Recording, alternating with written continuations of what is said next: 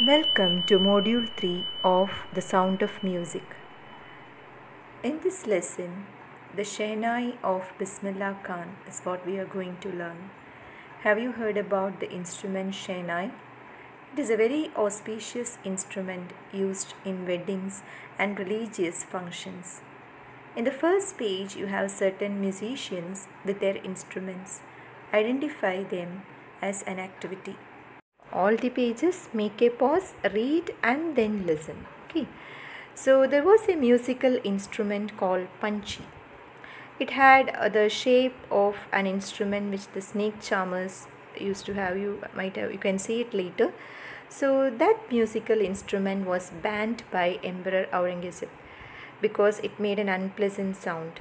And whichever reeded instruments made that sound it was compared to pungi so someone had to revive, make it fresh, that instrument.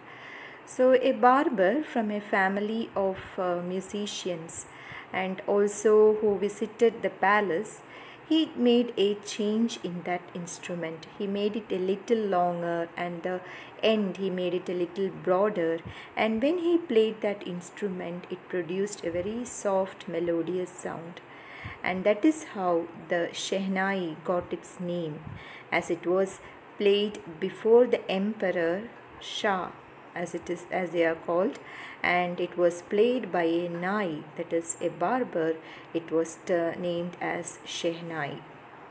Uh, this is the pungi and later it was revived to a Shehnai which you can see in the picture now the sound of the Shehnai, it was considered very auspicious. It is still played in temples and it cannot be avoided in uh, some uh, North Indian weddings. So in the past, the Shehnai was a part of the uh, naubat or the traditional group of nine musical instruments. Ensemble means group of nine instruments found in the royal courts. Recently, the um, Shehnai was played in temples and weddings, but the credit of bringing the instrument uh, to the stage it goes to Sir Bismillah Khan. He was the person who brought the Shehnai to the stage. You can see it is a wedding ceremony where the Shehnai players are playing the instruments and uh, very auspicious uh, instrument it is. Uh, in the third paragraph, the young five-year-old Bismillah Khan is being described how he would go to the nearby Bihariji temple and he would sing the Bhojpuri uh, Chaita. So why does he sing that song there? Just to receive the 1.25 kg weighing laddu which was given as a prize by the local Maharaja. So that happened 80 years ago and now uh, that little young boy of 5 years he had travelled uh, long enough to earn the highest civilian award. He had earned the highest civilian award of India. In India, what is that? The Bharat Ratna. So that five-year-old who sang for receiving a laddu, he received the highest civilian uh, award in India, that is the Bharat Ratna.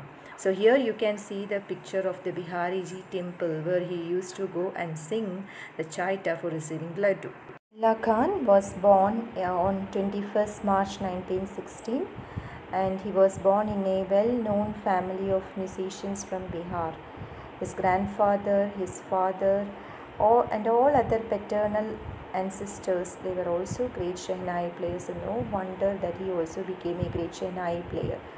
The young boy, he very early in his life, he took to music so when he was just three years old, his mother used to take him to the maternal uncle's house, and there he would see a maternal uncle Ali Bux playing the Shehnai. He would watch him for a long time, and uh, Ali Bux, that is his maternal uncle, was employed in the Balaji temple, in the Balaji sorry Vishnu temple at Benares, and uh, he would practice for years to come the temple of Balaji, Mangala Maiya temple and the banks of the Ganga. These became the young apprentice's favorite haunts where he could sit and uh, practice in solitude, in loneliness. Okay, so these were the haunts means he used to sit there and practice the Shehnai for a long time. Frequently visiting places are called haunts. Okay.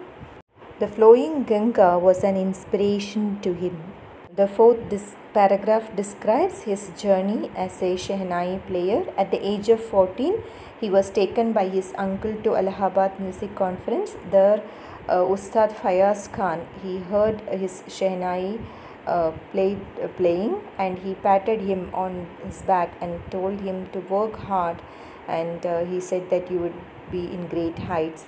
So the opening of All India Radio in Lucknow that was a very major break for Ustad Bismillah Khan and he became an often heard Shehnai player on radio. So he got a lot of chances in All India Radio and uh, he became very famous as a Shehnai player. People could hear him on radio. And when India got independence on 15th August 1947, he became the first Indian to greet the nation with his Shehnai. And uh, there was a speech by Pandit Jawaharlal Nehru, Tryst with Destiny.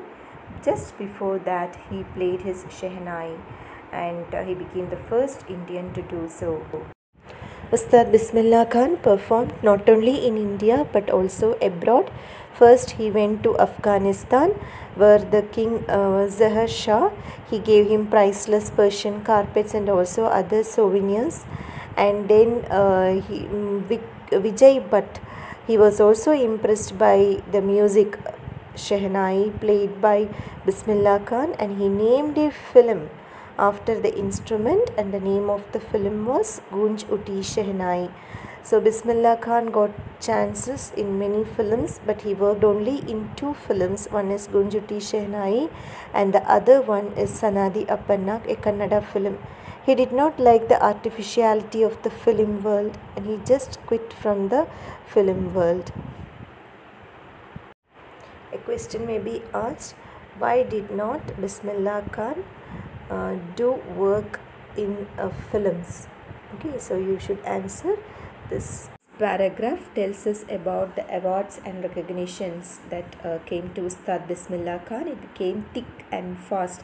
That means many uh, recognitions came in favor of him and that also very quickly. So he became the first Indian to be invited uh, to the prestigious Lincoln Center Hall in the United States of America. He also took part in the World Exposition in Montreal, in the Cannes Art Festival and in the Osaka Trade Fair also.